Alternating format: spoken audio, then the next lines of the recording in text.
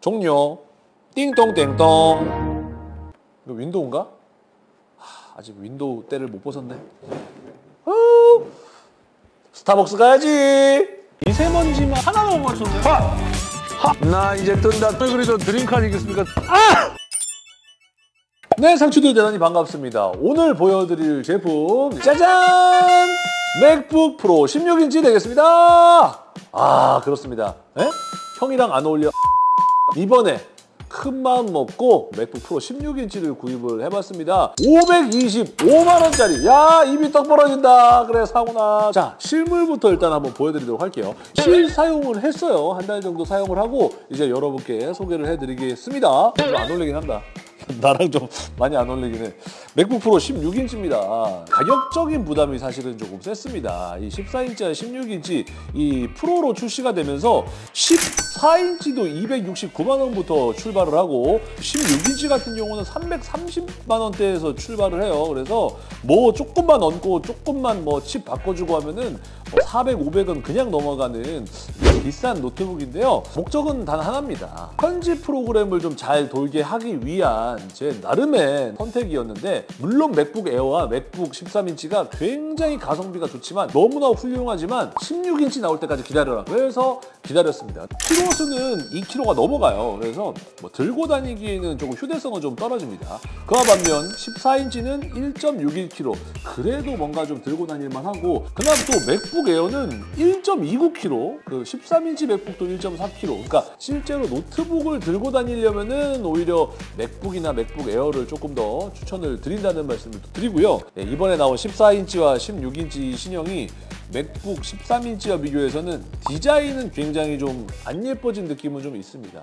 좀 뭔가 각이진 느낌 그죠? 뭔가 이제 옛날 클래식 맥북으로 뭔가 회귀한 느낌은 사실 좀 있는데 뭐 패션 아이템 아니고 제가 실제로 이제 쓰는 용도로 사용을 하다 보니까 뭐 크게 뭐 문제될 건 없고 한 가지 조금 예전 맥북 중에 여기 라이트 들어오는 거 있었어요. 하, 그거는 진짜 간지였는데 네, 그런 거는 많이 없어진 느낌입니다. 대신에 외형을 봤을 때 가장 좋아진 점은 여기 구멍들이 많아졌습니다. HDMI 단자가 있고 여기 썬더볼트 4 단자가 있고 여기에 SD 카드 이게 굉장히 저한테는 제일 필요했습니다.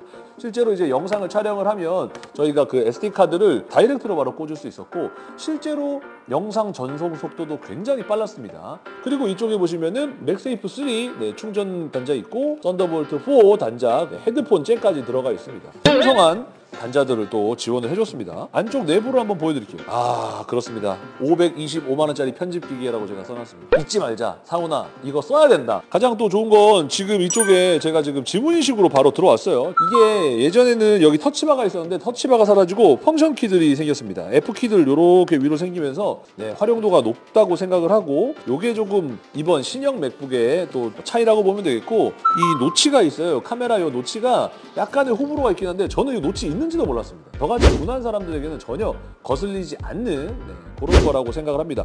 그리고 가장 중요한 거 베젤이 굉장히 얇아졌어요. 그래서 16인치임에도 불구하고 이게 조금 더 작은 느낌은 좀 더 있어요. 자 어때요 여러분들? 스타벅스에서 커피 마시는 것 같아요? 제가 지금 가장 중요하게 생각하는 게 편집 프로그램이지 않겠습니까? 제가 4K 영상으로 찍기 때문에 뭐 100기가가 넘는 영상들을 옮기는데도 오래 걸리고 이 영상들을 딱 원하는 그 구간 구간을 제가 선택을 할 때 너무 버벅대요. 그게 사실 이 고성능 노트북을 사게 된 가장 큰 이유라고 볼 수가 있겠습니다. 스펙 설명을 조금 드릴게요. 16인치 중에서도 CPU가 M1 프로가 있고 M1 맥스가 있습니다. 근데 저는 M1 맥스로 선택을 했고 32기가 램 그리고 SSD 저장 용량은 2TB를 했어요. 그래서 실제로 제가 그 GD 토이즈 아이언맨은 이 파이널 컷으로 편집을 한 거예요. 정말 신세계였어요. 그리고 인코딩 속도 자체도 완전히 달랐습니다. 제가 GD 토이즈 그 아이언맨 16분 30초 정도 되는 그 영상이었어요. 그 영상을 이 맥북 프로로 인코딩을 했을 때 5분 57초가 걸렸습니다. 6분조차도 걸리지 않았습니다. 그리고 그 결과물은 7.7기가짜리가 나왔어요. 그러니까 물론 같은 영상은 아니지만 제가 예전에 편집을 해놨던 만달로리안 영상 그 영상을 똑같이 제가 1초부터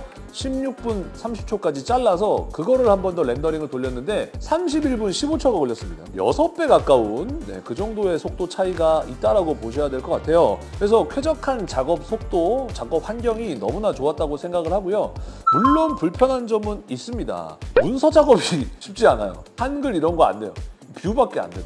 특히나 게임은 사실 이걸로는 못 하신다고 보시면 돼요. 525만 원짜리 컴퓨터를 샀지만 네, 게임용으로는 완전히 비추드립니다. 그리고 이제 막 그 액티브엑스 깔고 막 그거 있잖아요. 왜 뱅크 들어갈 때 쓰는 거 그런 것들도 주로 이용하시는 분들이라면 네, 비추입니다. 편집 프로그램이든지 음악 프로그램들을 전문 편집실 안 가도 되는 정도의 퍼포먼스는 나온다고 보시면 될 것 같아요. 자, 그리고 또 여기에 뭐 자랑이 하나 있습니다. 영상미가 여러분 진짜 장난 아니에요. 자, 장안의 하재인 예, 이상훈 TV 영상을 한번 보여드릴게요. 화면 자체가 굉장히 선명하고 깨끗한데 디즈니 플러스라든지 넷플릭스 보면 제 와이프랑 저랑 원래는 TV에서 보다가 요즘에는 식탁에서 이제 이걸로 보기 시작했어요. 화면도 너무나 깨끗해서 몰입도가 더 좋다고 하더라고요. 그리고 이게 사운드가 괜찮아요. 제가 마샬 스피커가 있거든요. 마샬 스피커 못지않게 음악 감상을 또 할 수도 있었어요.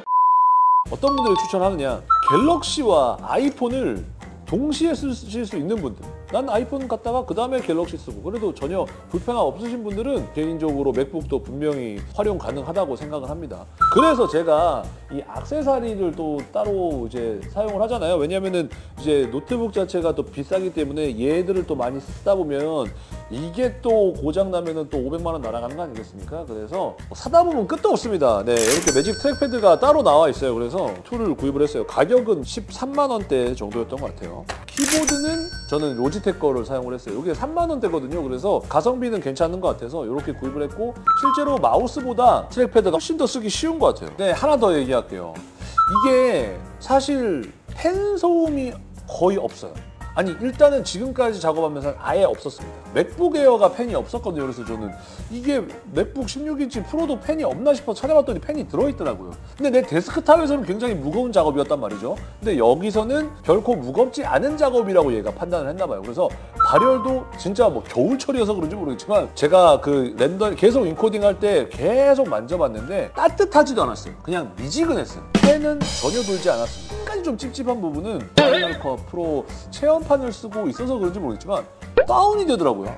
한 두 번 됐거든요. 영상을 이제 시작할 때는 안 됐는데 제가 막 이것저것 누르고 연습하다가 그래서 강제 종료를 한 두 번 한 적이 있어요. 정식판을 받으면 좀 해결되는 문제인가? 요거는 지금 제가 또 조금 예, 약간의 찝찝함이 있어서 또 말씀을 드립니다.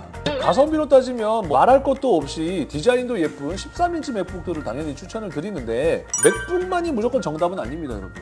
저처럼 뭐 편집을 조금 자유롭게 하거나 뭐 음악 작업들을 막 하셔야 되는 분들은 사실 이 맥북이 맞아요. 하지만 뭐 그렇다고 해서 그램이나 갤럭시북 자체가 나쁘다는 건 절대 아닙니다. 윈도우 기반 노트북도 굉장히 좋은 것들도 많기 때문에 그거는 선택지라고 생각을 해요. 자 앞으로 네, 이 친구로 또 열심히 한번 편집을 해서 여러분들께 또 좋은 영상 보여드릴 거라는 약속도 같이 전하면서 오늘 영상 유익하셨다면 구독과 좋아요 부탁드리겠습니다. 아울러 네 혹시나 궁금한 점 있으시면 댓글 달아주세요. 제가 아는 선에서는 답글을 좀 해드리고 혹시나 제가 모르시면 다른 네, 맥북 사용자들이 좀 댓글을 달아주시기 바라겠습니다. 저는 또 다음 시간에 찾아오겠습니다, 여러분. 안녕히 계세요.